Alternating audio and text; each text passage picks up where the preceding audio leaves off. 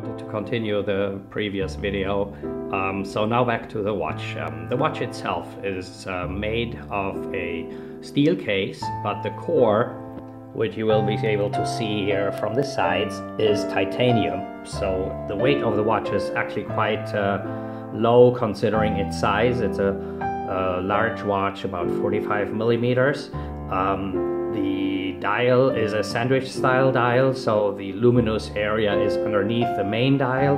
The lower dial, where you see the white uh, dial with Eqvis writing, has been uh, finished with Geneva stripes. Um, that is extremely hard to capture in a video.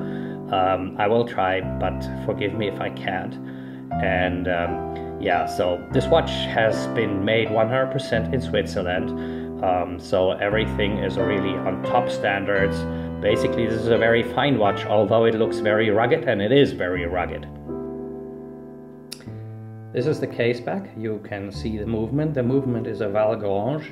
It's based on a 7750, uh, just stripped uh, by the chronograph function. Um, it's nicely finished. You see the writing of Eqvis Varius Limited and um, some more information. It's a self-winding movement as you saw, um, really nicely done. Something I personally liked a lot on this watch is the crown. It has absolutely fantastic grip.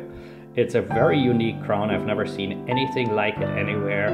Um, you see the different color of steel and titanium here. The titanium core is much darker than the steel.